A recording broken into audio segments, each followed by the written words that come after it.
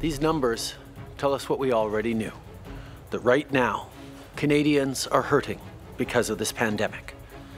Everyone has their own story, but it all boils down to a very difficult time for a lot of people. Hi, and welcome to Power and Politics. I'm Vassy Kapelos. Economists predicted job numbers out today would be devastating, but the numbers themselves are still very stark. As Statistics Canada reports a historic drop in employment for the month of April. Nearly 2 million Canadians lost their jobs last month at the height of the economic shutdown and COVID 19 pandemic. That's on top of more than 1 million jobs lost in March. But it's actually even worse than that. StatsCan is also reporting 2.5 million people worked less than half their usual hours under COVID 19 restrictions. So, in total, 5.5 million Canadians have either lost their job or most of their earnings. As a result, the jobless rate jumped 5 percentage points to 13%, a near record high. So, how should we interpret these numbers? What do they mean about where this country's economy is headed? John Manley served as federal finance minister under Prime Minister Jean Chrétien, and Ralph Goodale served as federal finance minister under Prime Minister Paul Martin. Mr. Manley joins us now from Ottawa, and Mr. Goodale joins us from Regina. Great to see you both. Thanks for making time. Hello. Mr. Manley, I wanted to start with you. The, so many Canadians read that jobs report this morning, uh, and we kind of expected it, but the numbers are, are hard to take. When you saw 2 million Canadians lost their job in April alone, what went through your mind? Uh, that's 2 million families that are trying to figure out how they're going to make their way through this and, and wondering when and how it's all going to end. Uh, there are countless stories of personal hardship in those statistics Vassy, and, and it's important never to get hardened by just the numbers. The unemployment rate, Mr. Goodale, is 13%, according to the jobs report, but so many economists are saying it's probably a lot higher. What did you think, Mr. Goodale, when you saw some of those numbers, which, of course, as Mr. Manley pointed are attached to very real Canadian families? Well, it's very painful. Uh, painful uh, uh, in terms of uh, um, how the economists look at uh, at economic pain, but these are real life human situations, and uh, these numbers demonstrate how critically important it is uh, for uh, governments, federally and provincially, uh, to be in a position to respond uh, generously to these circumstances and to provide that kind of, of support that the Canadian families need to to get through this situation. Uh, and there needs to be a, a full national, fully coordinated, uh, cooperative effort at all levels. I think we've seen that over the course of, of the last several weeks. Uh, but uh, these numbers demonstrate how critically important it is for government to have the capacity to respond. It's on that point that, that I really wanted to draw on both of your experience as, as finance ministers uh, to take us kind of, I guess, behind the scenes from your perspective, starting with you, Mr. Manley. What is the size of the challenge the federal government faces right now and that you would, if you were finance minister, be facing? Oh, you know, um, neither of us has ever been there when there is what it is today. Uh, this is a shutdown of a large percentage of the Canadian economy. Um, and, uh, you, you, know, Vassy, you and I have had this conversation. I, I, I, was always a curmudgeon about the deficit, and I think I'm being proven right because uh, we shouldn't have used our gunpowder when the economy was growing because now is when you really need it.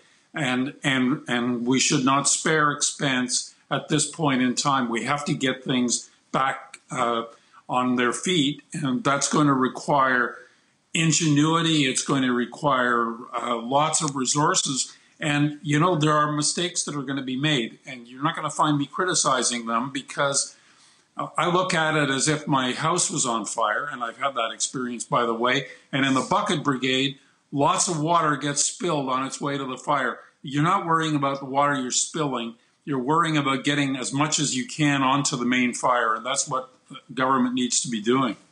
Mr. Goodale, when we talk about the federal government's response, we're in this sort of interim stage right now, right? There was the initial response to when everything was shut down. Now we see provincial economies at varying speeds reopen, but it's not ever going to be like it was until we see a set of treatments or a vaccine. And that could be, you know, more than a year off. What does that require of government when considering its economic response in this sort of mid mid period? Well, it, it requires uh, flexibility. Uh, it requires governments to be able to be patient, uh, to recognize that uh, one of the worst things you could do uh, is to uh, force a, a, a, a, an outcome too quickly and, and thereby compound the health problem and and uh, absolutely squander all of the progress that has been made so far. So patience is important.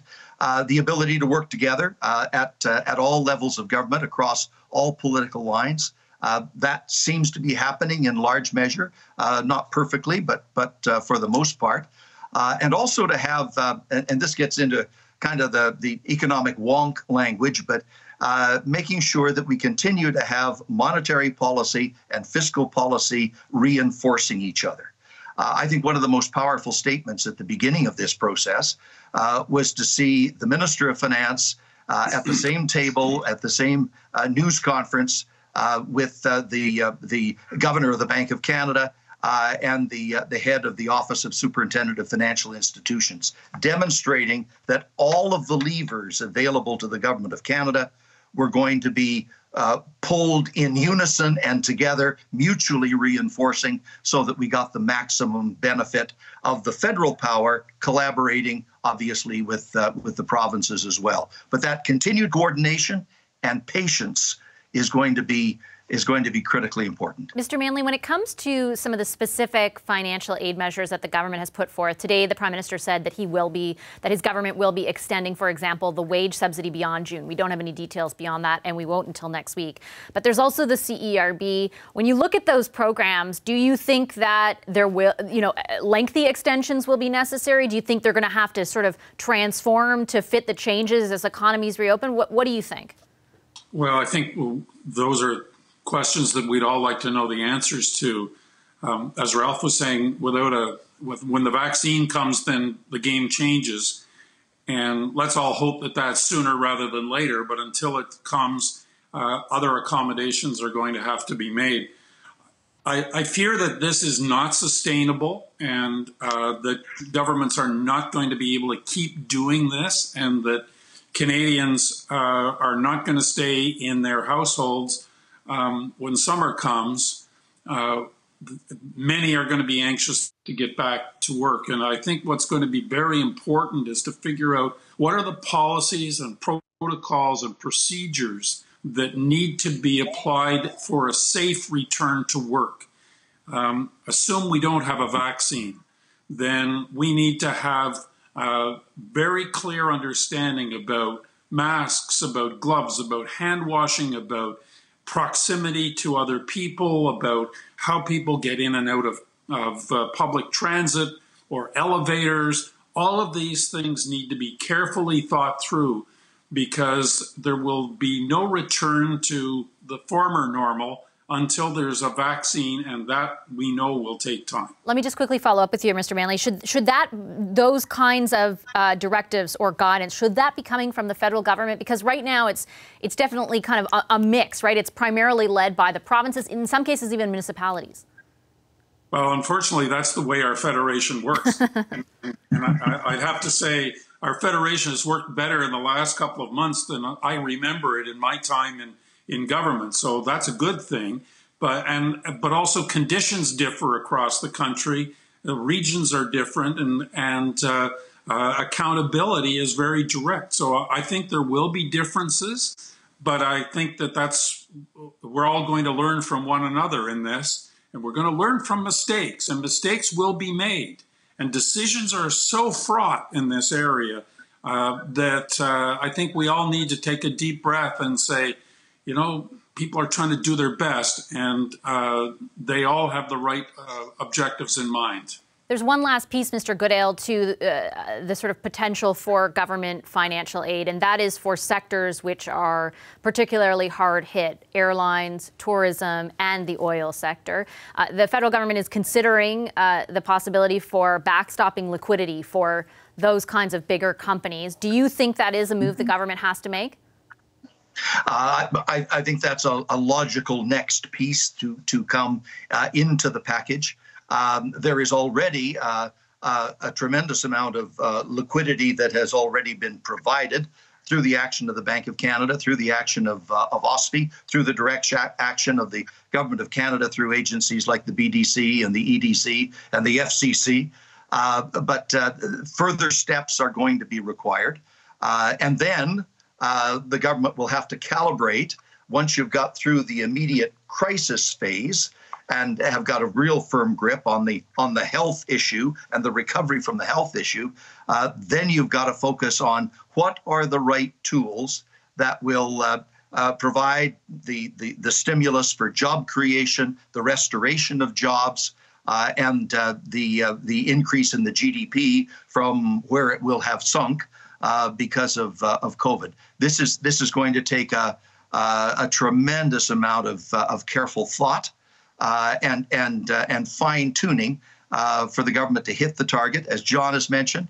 Uh, no doubt, some mistakes will be made, uh, but I think I think Canadians will have will have an appetite for generosity from the government of Canada and all other governments in the country to try to make this process as successful as it can possibly be. It won't be perfect. The world has never faced this kind of thing before, uh, but we will get through it together. And remember that uh, you know back in World War II, uh, the the uh, the national debt for Canada, the, the federal debt in Canada, uh, exceeded 100% of GDP.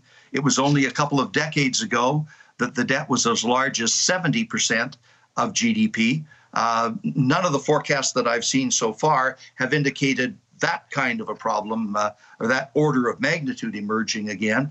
Uh, so we should have some some confidence that we've got an economic basis as unprecedented as this situation is. We've got a, an economic foundation that is strong. Uh, we can't squander it, but it's strong, and it should carry Canada through this period better than most other countries. I have just 30 seconds left, Mr. Manley, but I do want to get your perspective on that because at this point we're looking at a $250 billion deficit. When you add in stimulus, whenever that point gets, I just saw your face, when, whenever the point, whenever we get at the point where we're lucky enough to be thinking about stimulus and not just addressing the acute needs right now, you know, likely that number will go up. Uh, again, as you know, based on your experience as finance minister, how great is the challenge? How great a challenge will that eventually present? Well, it's an unprecedented challenge again. Uh, a lot depends on whether the earth is totally scorched when we come out of this.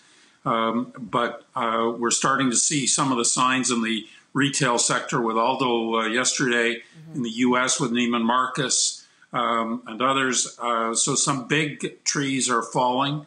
lots of little ones are going to fall, small businesses. So uh, getting all of those up and running quickly is not just a matter of stimulus um, because it's going to be recreation of entities. And it's going to be a big challenge. It's going to cost a lot of money. And governments are going to have to show real discipline on other areas of spending. Mm-hmm. It's going to be all about the economy till we get this back under control. Okay, I have to leave it there. Great pleasure to have both of you with us on the program tonight. Thank you. All the best. Pleasure. Thank you. John Manley in Ottawa and Ralph Goodale in Regina. Hi, I'm Vassy Kapelos, host of Power and Politics. See more of our show by subscribing to the CBC News channel or click the link for another video.